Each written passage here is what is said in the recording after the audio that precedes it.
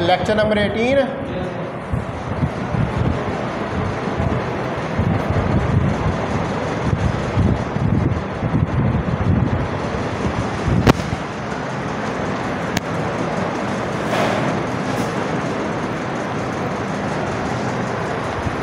अच्छा जी last time जो है वो हमने रेट इक्वेशन जो हैं उनको पढ़ना शुरू किया था और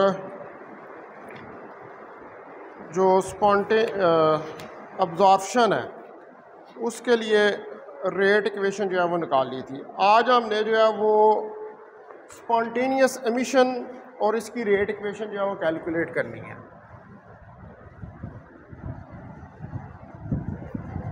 Spontaneous emission and its rate equation.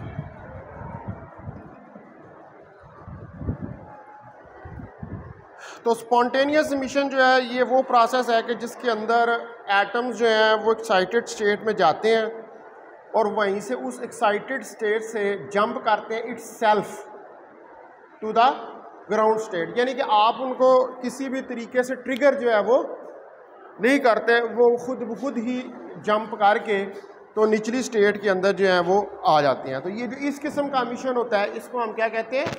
Spontaneous emission the process in which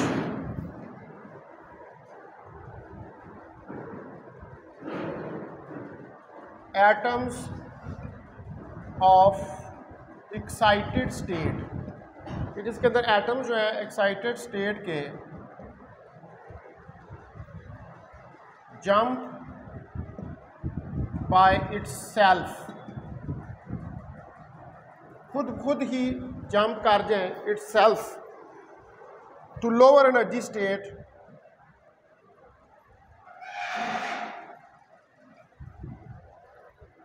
lower energy state के अंदर, यानी कि अपर लेवल से लोअर एनर्जी स्टेट लेवल के अंदर आ जाए बाय एमिटिंग फोटान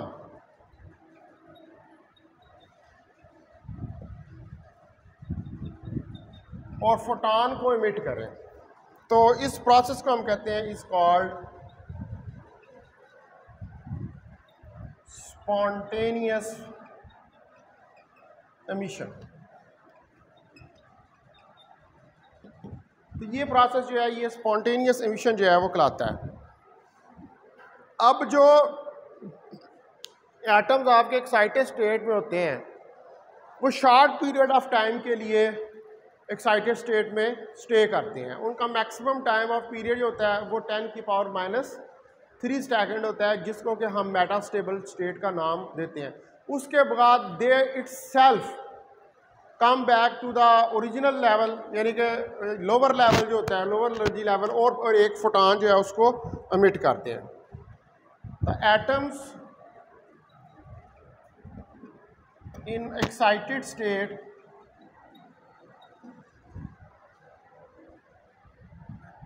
तो जो एटम्स हैं आपके पास एक्साइटेड स्टेट के अंदर, can stay for short time period.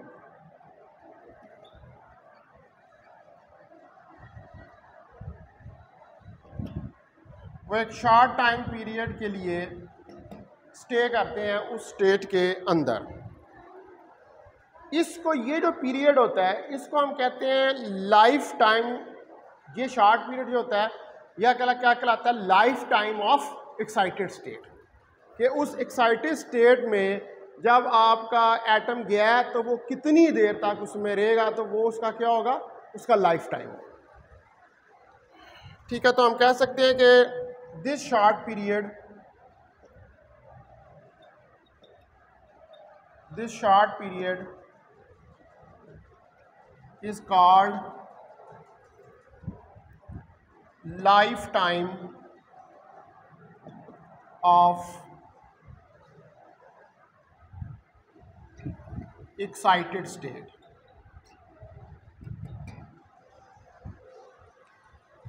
तो इसको हम कहते हैं कि ये आपके पास लाइफ टाइम है किसका? एक्साइटेड स्टेट का। अब ये ले, ये लाइफ टाइम जो है एक्साइटेड स्टेट का ये नॉर्मली टेन की पावर माइनस एट सेकेंड तक होता है, ठीक है? This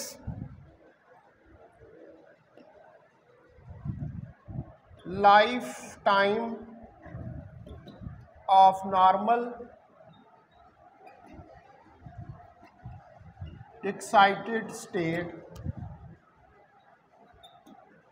is ten power minus eight second ये स्टेट जो होती है, ये कोई मेटास्टेबल स्टेट नहीं होती मेटास्टेबल स्टेट अलहदा होती है। ठीक है, ये वो है कि जिसके अंदर एक्साइटेड रहेगा और उसके टेन की पावर माइनस एट सेकेंड के बाद दोबारा जो है, अपनी लोअर एनर्जी स्टेट में वापस जो है, वो आ जाएगा। अच्छा अब आप देखें कि अगर हम इसको, इसकी फिगर बनाएँ तो ये आपने एनर्जी ई e जो है, वो प्रोवाइड की है।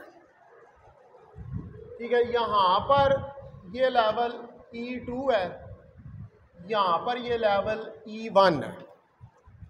और इधर एक एटम पड़ा हुआ है और ये नीचे की तरफ़ ट्रांजिशन जो है, वो करता है।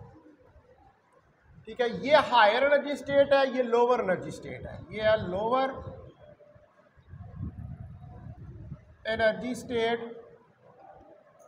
और ये है हायर एनर्जी स्टेट।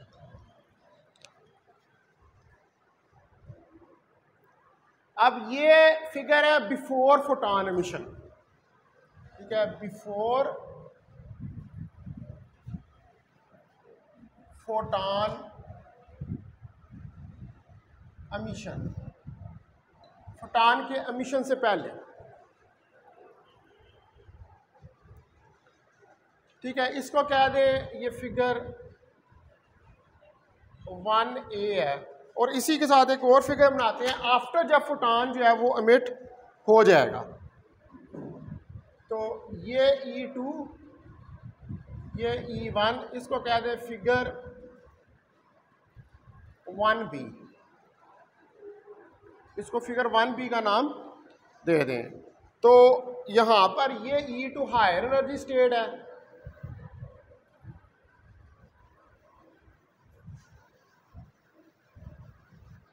और ये वाली जो है, ये लोअर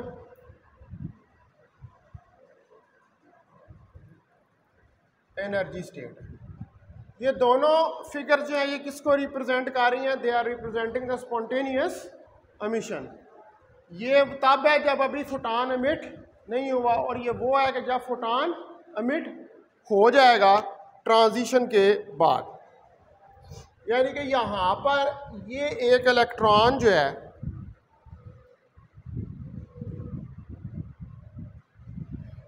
मौजूद है। और इधर आप लिख लें कि एक्साइटेड स्टेट इलेक्ट्रॉन जो है excited state electron is releasing photon. Excited state electron जो है, वो फोटॉन को रिलीज़ कर रहा है ड्यूरिंग ट्रांजिशन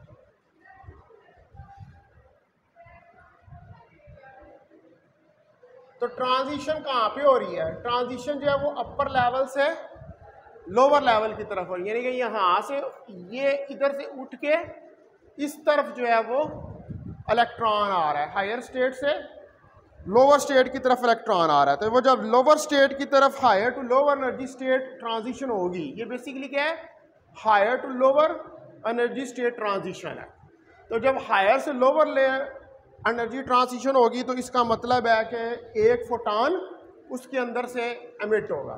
यानी कि यहाँ से ये एक फोटान निकल जाएगा।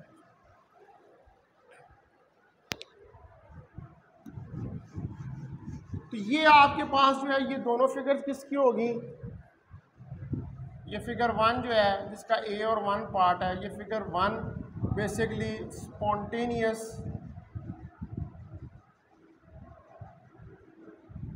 emission को रिप्रेजेंट कर रही है।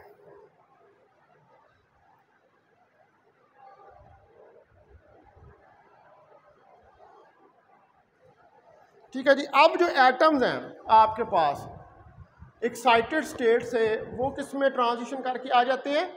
लोअर स्टेट के अंदर, ठीक है? तो एटम्स फ्रॉम एक्साइटेड स्टेट। अब कौन सी एक्साइटेड स्टेट है? ये वाली ई e टू जो है वो एक्साइटेड स्टेट है। इससे ट्रांजिशन करेंगे और किसमें आ जाएँगे? लोअर लेवल में। Return to the lower level state. और लोअर लेवल स्टेट के अंदर रिटर्न कर जाएँगे हायर लेवल स्टेट से। When its lifetime completed या यानी कि जब वो 10 की ताकत माइनस आठ सेकेंड गुजार लेगा तो फिर हायर से लोअर स्टेट में आ जाएगा। When its lifetime is completed जब इसका लाइफ टाइम जो है वो कंप्लीट हो जाएगा, यानी कि टेन की पावर माइनस एट सेकेंड को कंप्लीट कर लेगा। अब एनर्जी जो है वो रिलीज़ होगी in the form of photons, यानी कि रेडिएशन। फोटॉन्स भी क्या होते हैं? रेडियंस का पार्टिकल आस्पेक्ट है। इस डिके के दौरान, the energy is released in the form of photons during this decay. इस डिके में। यानी कि ऊपर से नीचे आना क्या है? What is that that is decay decay करना। अब यहाँ पर ये जो मिशन ऑफ़ फोटॉन्स है, ये इनकोहरेंट होगा। कोहरेंट नहीं होगा। क्या होगा? इन कोहरेंट यानी कि आउट ऑफ़ फ़ेज़ होंगे। This emission of photons is incoherent ये अमिशन ऑफ़ फोटॉन्स जो है, ये क्या होगा? ये इनकोहरेंट होगा, यानी कि इन फ़ेज़ फोटॉन्स जो हैं, वो नहीं होंगे। अब ये जो इनकोहरेंट बीम ऑफ़ फोटान्स है, इसके फ़ेज़ के अंदर रैंडम चेंजेस होंगे रैंडम चेंजेस का मतलब है कि हर फोटान जो है, हर तो नहीं कह सकते, ज़्यादातर फोटान कुछ ऐसे भी होंगे जो इन फ़ेज़ होंगे। लेकिन ज़्यादातर फोटान जो हैं, उनका फ़ेज़ आपस में डिफरेंट होगा इनकोहरेंट का मतलब आउट ऑफ़ फेस कोहरेंस का मतलब इन फेस ठीक है? तो the incoherent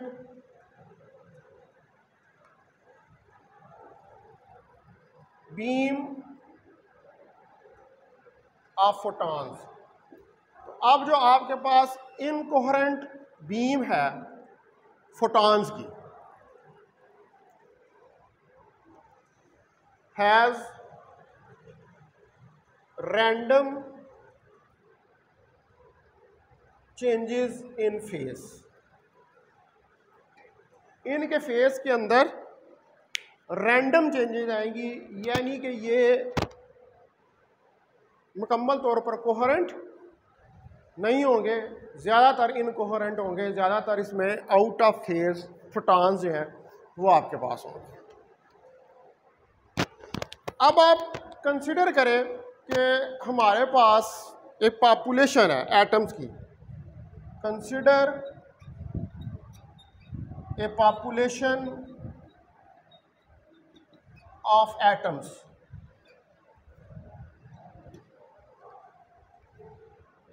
in higher state E2 is N2 higher state E2 के अंदर कितने हैं N2 फोटान है। यानी कि एन टू नंबर ये यहाँ पर, ये एन टू और ये एन वन ठीक है, इसी तरह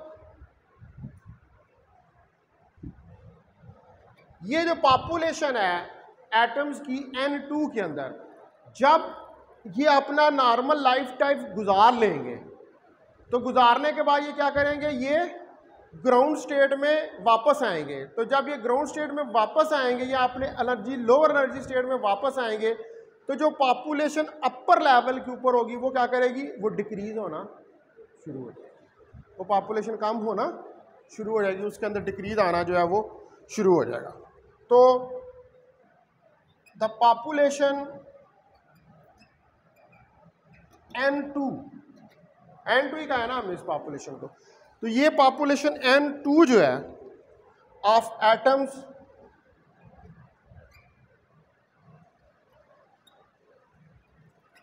will decrease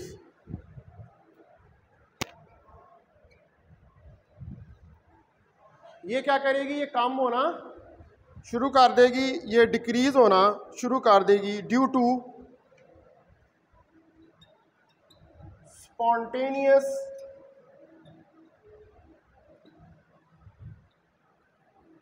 emission to the lower state. जो कि लोअर स्टेट की तरफ़ स्पॉन्टेनियस एमिशन हो रहा है, उसकी वजह से। और वो लोअर स्टेट कौन सी है? E e one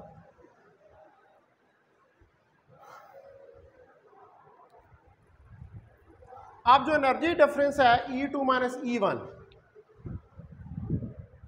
the energy difference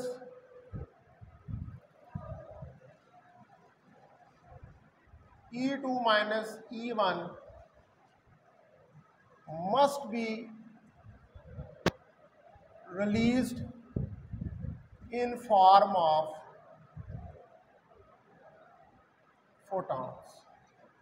तो ये एनर्जी डिफरेंस जो है delta E E two minus E one ये फोटॉन्स की फॉर्म में जो है, वहाँ से रिलीज़ होना शुरू हो जाएगा।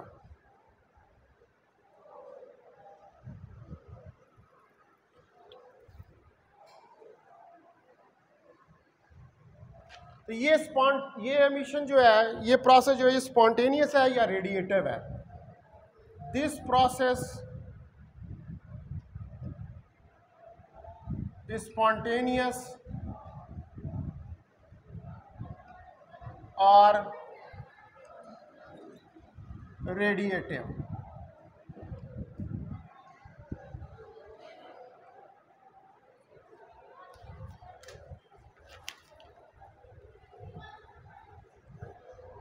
अब जो हमारे पास फ्रीक्वेंसी एमिट हो रही है एमिटेड फोटान की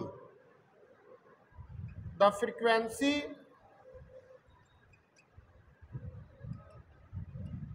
of emitted photon is nu E2 minus E1 over h ये फ्रिक्वेंसी जो है वो अमिट हो रही है। तो स्पॉन्टेनियस एमिशन की अगर आप इक्वेशन लिखें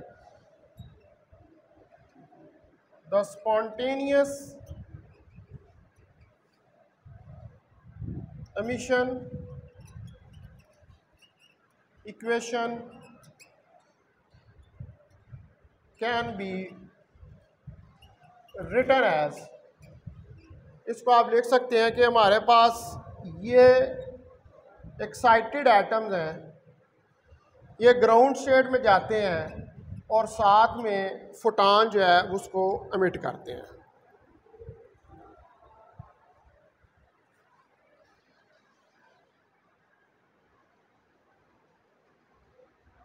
अब ये जो आपके पास स्पॉन्टेनियस टिके होता है, एक तो ये रेडिएटिव फॉर्म में भी होता है, ये पहले भी मैंने शायद इसका ज़िक्र किया हुआ है, और दूसरा ये नॉन रेडिएटिव फॉर्म में भी होता है, और जब ये नॉन रेडिएटिव फॉर्म में होता है तो उस वक्त वो कनेटिक एनर्जी के अंदर वो एनर्जी जो है वो कन्वर्ट हो जाती है, अगर वो फोटान्स की फॉर्म में ना निकले तो।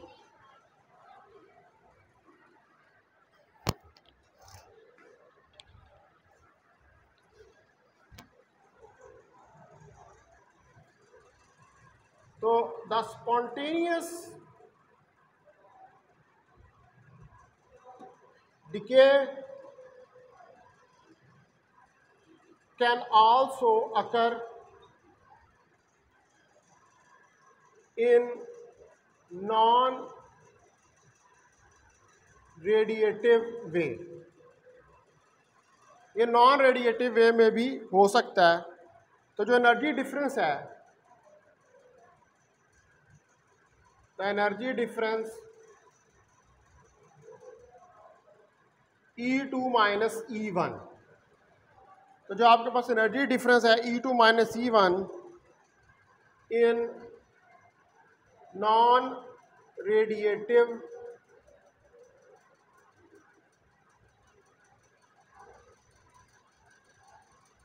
in non-radiative decay.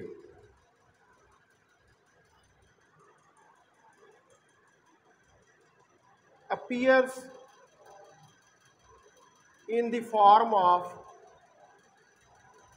kinetic energy तो ये काइनेटिक यानी कि अगर ना रेडिएटिव हो तो फोटॉन्स की फॉर्म में होता है।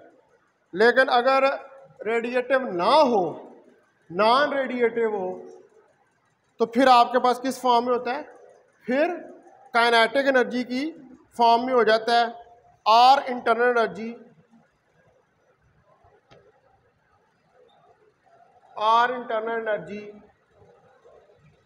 of surrounding atoms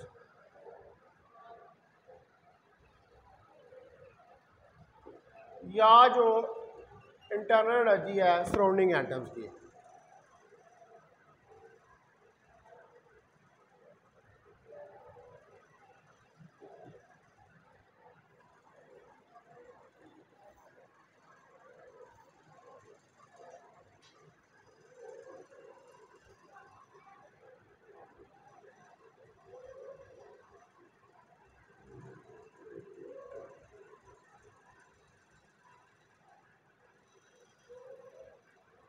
ठीक है नॉन रेडिएटिव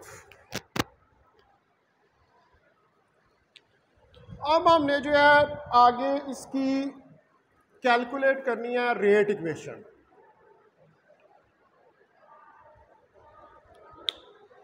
तो रेट इक्वेशन जो है उसको कैलकुलेट करने के लिए यही वाला सिस्टम जो है वो आपको कंसिडर करना पड़ेगा। तो इसी को हम कंसिडर करते हैं जो फिगर वन है।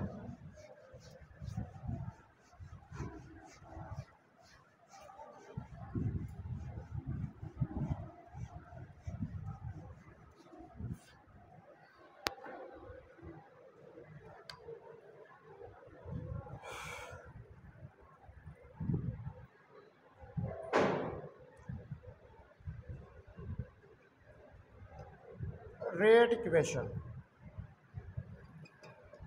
अब इसकी हमें रेट इक्वेशन जो है उसको फाइंड करना है। तो जो रेट इक्वेशन है स्पॉन्टेनियस मिशन की the rate equation of spontaneous emission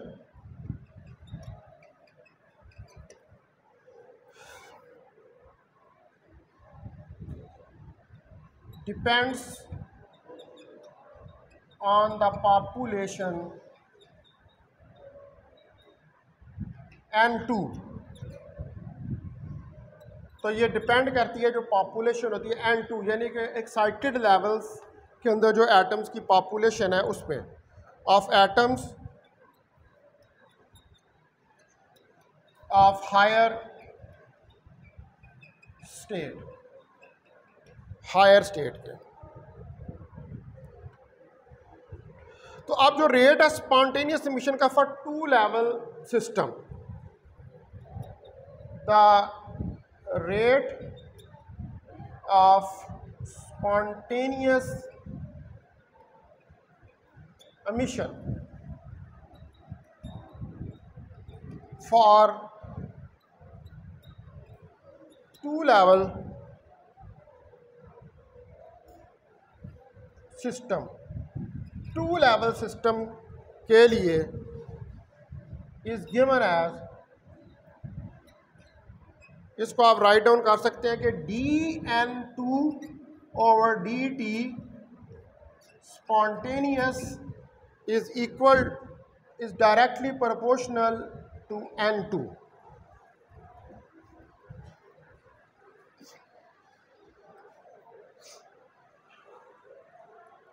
ये एन टू के डायरेक्टली प्रोपोर्शनल तो यहाँ से प्रोपोर्शनैलिटी को ख़त्म करें तो D N two over D T spontaneous अब यहाँ पर आपके पास आ जाएगा minus A two one N two इसको कहते हैं ये इक्वेशन नंबर वन है।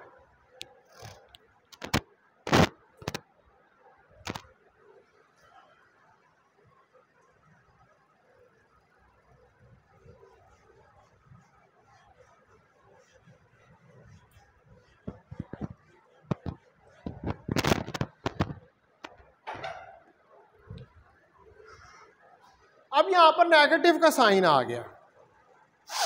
ठीक है उसको देखते हैं कि नेगेटिव साइन का मतलब है कि खुद खुद से नीचे की तरफ़ जा रहा है ग्राउंड स्टेट की तरफ़ जो है वो जा रहा है। अच्छा इसको मैं कह रहा हूँ R S P rate of spontaneous emission minus A two one N two अब यहाँ पर ए टू वन क्या है?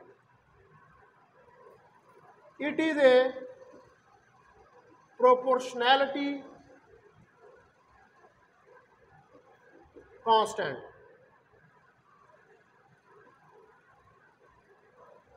ये प्रोपोर्शनैलिटी का कांस्टेंट है, ठीक है? Called Einstein coefficient for spontaneous emission ठीक है?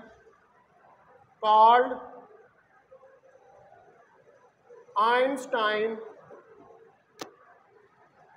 coefficient for spontaneous emission. तो इसको हम क्या नाम देते हैं? आइंस्टाइन। आपने पिछले के अंदर ऑप्शन में भी आइंस्टाइन कोफिशिएंट कैलकुलेट किया था। उस अभी कैलकुलेट नहीं किया इनको। वो आया था प्रोपोर्शनैलिटी का। उसको आपने बी से डिस्क्राइब किया था। यहाँ पर आप इसको स्पॉन्टेनियस इमिशन में ए से डिस्क्राइब जो है वो कर रहे हैं। अब ये जो हमारे पास ए टू वन है स्पॉन्टेनियस एमिशन के लिए, इसकी जो कुछ प्रॉपर्टीज़ हैं, ठीक है, पहली नंबर वन पे है कि ए टू वन जो है, ये प्रॉबिलिटी है। A two one is the probability ये प्रॉबिलिटी है of spontaneous emission spontaneous emission की।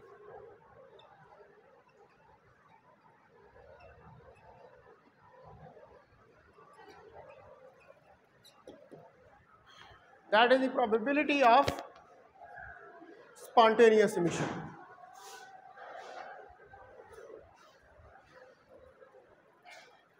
यानी कि ये ये डिस्क्राइब कर रहा है कि स्पॉन्टेनियस एमिशन अकर करेगा या स्पॉन्टेनियस एमिशन जो है वो अकर नहीं करेगा। ठीक है, ये उसकी आपके पास प्रॉबिलिटी है। अच्छा दूसरे नंबर पर अब नेगेटिव साइन इसके अंदर क्या रिप्रेजेंट कर रहा है? नंबर टू पे।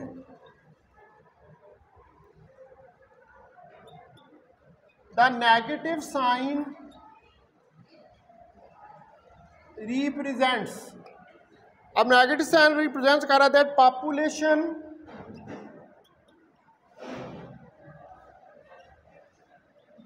M two of atoms ये जो पॉपुलेशन है एन टू एटम्स की, वो क्या है? जो अब एक्साइटेड से लोअर स्टेट में जा रहे हैं तो वो एटम्स की पॉपुलेशन क्या कर रही है? वो डिक्रीज हो रही है। तो जब कोई चीज़ डिक्रीज़ हो रही हो तो हम उसके साथ नेगेटिव का साइन लगा देते हैं कि भाई कम हो रही है। ये इस चीज़ को डिस्क्राइब कर रहा है कि ऊपर वाले लेवल से नीचे वाले लेवल में एक्साइटेड स्टेट से एटम आ रहे हैं तो उनकी पॉपुलेशन एन टू जो है वो कम हो रही है। During spontaneous emission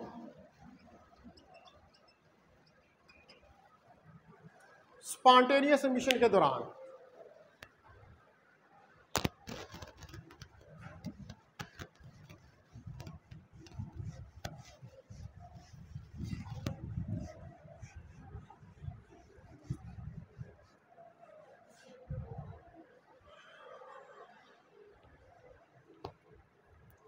third property है कि जो स्पॉन्टेनियस मिशन या रेडिएटिव टाइम कांस्टेंट है।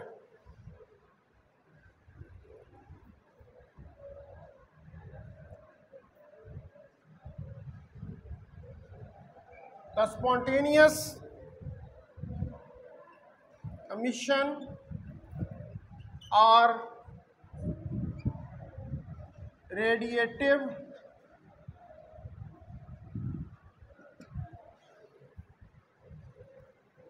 time constant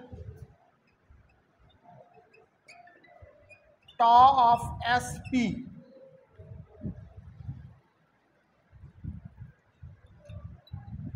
is defined as tau of S P time constant for spontaneous emission one over A two one ये जो आइंस्टाइन कॉफिशेंट है, उसका reciprocal है।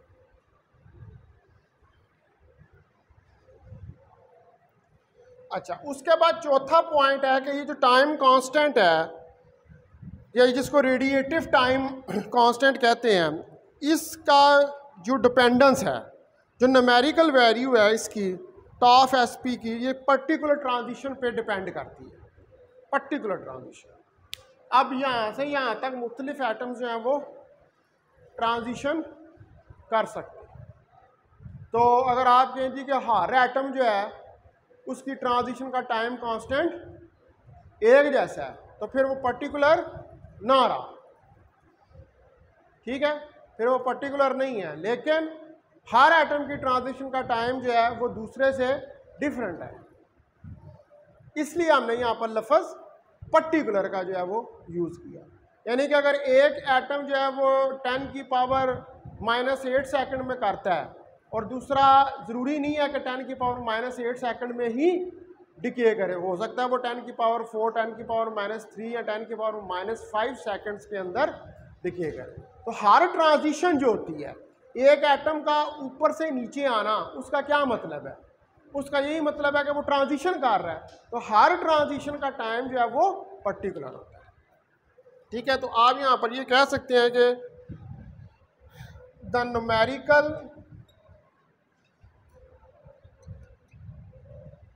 वैल्यू तो जब हमारे पास नोमेरिकल वैल्यू है of tau S P depends on the particular transition.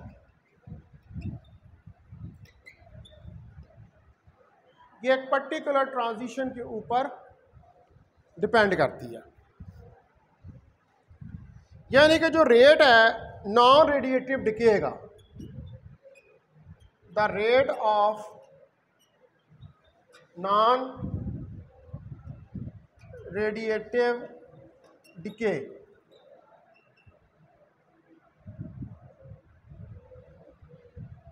जो रेट है नॉन रेडिएटिव डिके का, इसको हम लिख सकते हैं is given as dn2 over dt sp is equal to minus n2 over ta sp or minus s21 n2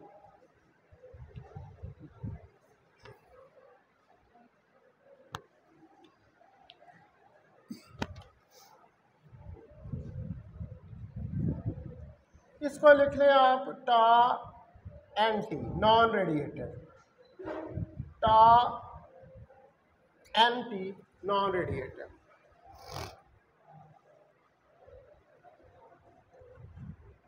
अब यहाँ पर टा एंटी जो है, ये क्या है? ये non radiative decay life time है। ठीक है? Tau anti it is It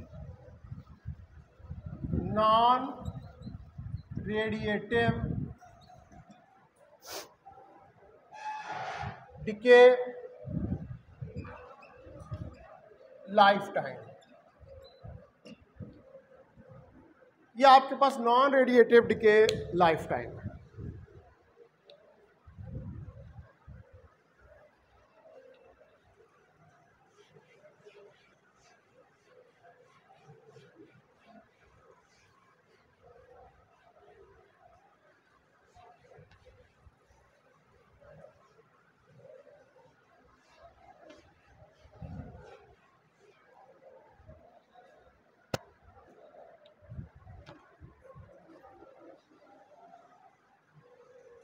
अब ये जो न्यूमेरिकल वैल्यू है टा एंड टी की, ठीक है?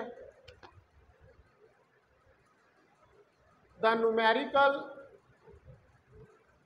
value of tau and T यानी कि जो रेडिएटिव नॉन रेडिएटिव डिगे है, इसकी जो वैल्यू है टा एन की depends on the transition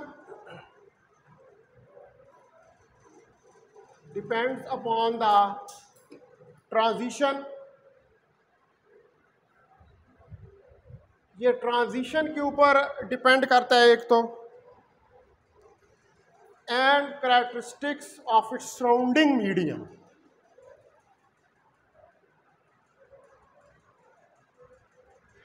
and characteristics of its surrounding medium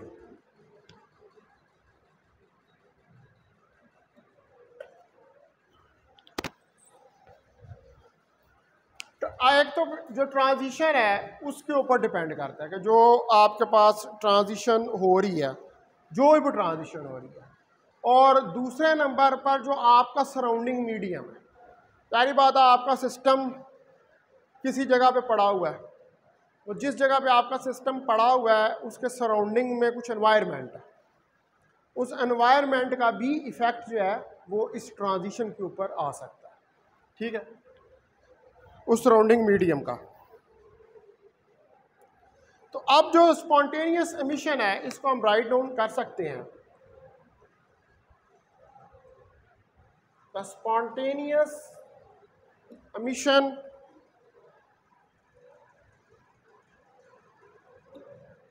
rate can be written as इसको आप राइट डाउन कर सकते हैं इस रेट को। डी एन टू वो पहली इक्वेशन ही देखें, उससे N two A two one D T वो डी टी को मैं दूसरी साइड पे लेगा और एन टू को उसके नीचे ले आए वो देखें, वो जो इक्वेशन नंबर पहली लिखी थी है, वो पता नहीं मेरे हाल मैंने मिटा दी है। इक्वेशन नंबर वन हमने शुरू में लिखी थी। अब ये इक्वेशन जो है, इसको इंटीग्रेट करें दोनों साइडों के ऊपर। ठीक है? इंटीग्रेट ऑन बोथ साइड्स इस इक्वेशन को। दोनों साइडों के ऊपर इंटीग्रेट करें तो आपके पास क्या आ जाएगा? Log of n2 of t is equal to minus a21t plus c.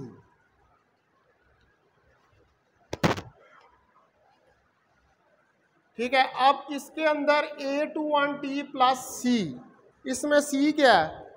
C is the constant no you can calculate the constant by applying the boundary conditions जो आपके पास इनिशियल बाउंड्री कंडीशन हैं, आप उनको अप्लाई करेंगे उसको find करें तो इनिशियल बाउंड्री कंडीशन क्या है? कि at time T is equal to zero N two of zero is equal to N naught ये वैल्यूज़ इसमें सब्सिट्यूट करें तो लॉग ऑफ़ एन नॉट ठीक है जी? Log of N naught minus A two one into zero plus C, यानी कि सी आ जाएगा log of N naught के बराबर। तो ये लॉग ऑफ़ एन नॉट इधर सब्सिट्यूट कर दें तो log of N two of T is equal to minus A two one T plus log of N naught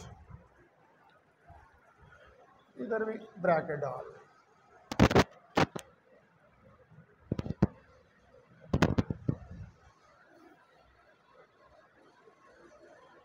ठीक है, ये निकल आएगा। अब आप यहाँ से देखें कि हमारे पास log of N two of T की वैल्यू निकल आई जो minus A two one T plus log of N naught के बराबर है। तो आप इसको उठा के इस तरफ़ ले हैं तो log of N two of T minus log of N naught minus A two one T ये इसके बराबर आ जाएगा। ठीक है? इस पर लॉग की प्रॉपर्टी लगा दें। लॉग की प्रॉपर्टी लगाएँगे तो ये क्या आ जाएगा? Log of N two of T over N naught is equal to minus A two one T. ठीक है, ये चीज़ बन जाएगी। और अब अगर मैं दोनों तरफ़ एंटी लॉग ले लूँ एंटी लॉग लूँगा तो क्या आएगा? N two of T over N naught is equal to E की power minus A two one T. ये आ जाएगा। तो यहाँ से N two of T N naught E की power minus A two one T के बराबर आ जाएगा। और यहाँ पर टी की ए टू वन की वैल्यू जो है, वो क्या है? वो one over tau of S P है, जो आपने पीछे लिखी है अभी। वो, लिखी हुई है ना वैल्यू वो, ये ये वाली क्वेश्चन वो वैल्यू यहाँ पर पुट करें तो N two of T N naught E की power minus T over tau S T ये निकल आया। तो अब ये हमारे पास जो है, वो रेट इक्वेशन निकल आई है किसके लिए? स्पॉन्टेनियस एमिशन ठीक है तो वो पेपर में आपसे ये पूछ सकता है कि स्पॉन्टेनियस इमिशन क्या है और उसकी रेट इक्वेशन जो है उसको कैलकुलेट करके दिखाएँ। ठीक है? तो अच्छा अब आप देखें कि इसमें जो टी तो टाइम है और टॉफ एस पी वो टाइम है जो कि है किसके लिए? स्पॉन्टेनियस एमिशन में डिके करने के लिए। ठीक है? तो जो टाइम है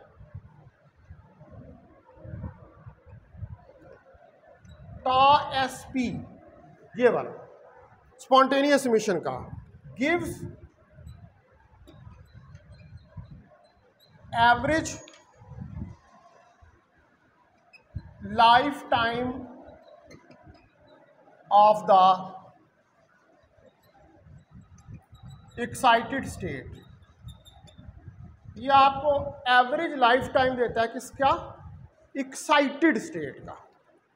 ठीक है, जहाँ से एटम ने क्या करना है? ट्रांजिशन करनी है लोअर स्टेट के अंदर। तो इसका मतलब है कि thus the spontaneous emission depend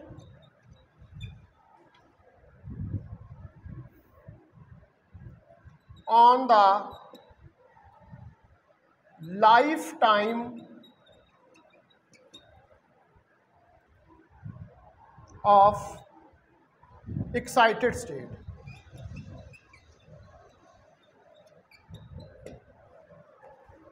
Excited state के लाइफ टाइम पे डिपेंड करता है कि कितनी देर तक वो एक्साइटेड स्टेट में क्या कर सकता है? स्टे कर सकता है। कितनी देर तक? एक्साइटेड स्टेट में स्टे कर सकता है। वो उसका लाइफ टाइम है। ठीक है? जितनी देर वो, अब हर एक बंदे की एक लिमिट होती है। ठीक है? मसलन आपको छः घंटे की क्लास पढ़ा दी जाए तो मैं छः घंटे कितनी आप पढ़ सकते। उसके बाद खुद ब खुद ही आपने डिके का पहले पहले ही कर जाएँगे डिके आप। आप तो बेचारे तीस मिनट के बाद डिके कर जाते हैं। ठीक है ना? आपका इतना ही लाइफ टाइम इसका मतलब है कि जो स्पॉन्टेनियस अमिशन है, वो किस पर डिपेंड कर रहा है? लाइट के एटम कितनी देर तक एक्साइटेड स्टेट में स्टे कर सकता है? उसका कितना टाइम तो मैंने अभी पीछे भी बताया कि ये किस पे डिपेंड करता है? पर्टिकुलर ट्रांजिशन के ऊपर। मतलब ये नहीं है कि हर एक का एक ही जैसा है। उस पर्टिकुलर ट्रांजिशन के लिए जो किसी एटम के लिए हो। ठीक है जी, अब ये दो प्रोसेसेस जो हैं, ये हमारे पास हमने इनकी रेट इक्वेशन जो हैं, वो कैलकुलेट करके देख ली।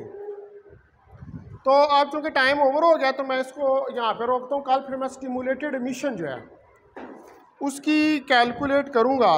फिर उसके बाद हम ये जो आइंस्टाइन के कोफिशेंट्स जो हैं ये जो हम पढ़ रहे हैं B two one A two one अब इनकी वैल्यू भी तो हमने कैलकुलेट करनी है ना। इसके बगैर जो है वो आपकी इक्वेशन कंप्लीट नहीं होती है, जो रेट इक्वेशंस हैं।